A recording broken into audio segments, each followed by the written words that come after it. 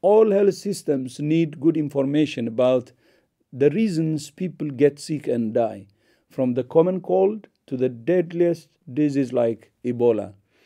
Good data helps health systems to respond to disease trends and to allocate resources accordingly so diseases can be prevented or detected and treated in the best way. The International Classification of Diseases, or ICD, helps countries to do that. It's a list of thousands of codes representing diseases, injuries, incidents, and more. ICD is one of WHO's most important but least known products.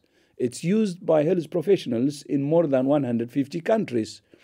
As our knowledge of diseases and conditions changes, so does ICD.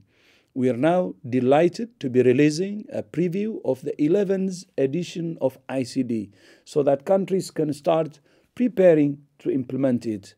Unlike previous versions, ICD 11 is fully electronic. It's much easier to implement and allows more detail to be recorded. All of this will make ICD much more accessible, particularly for low and middle income countries.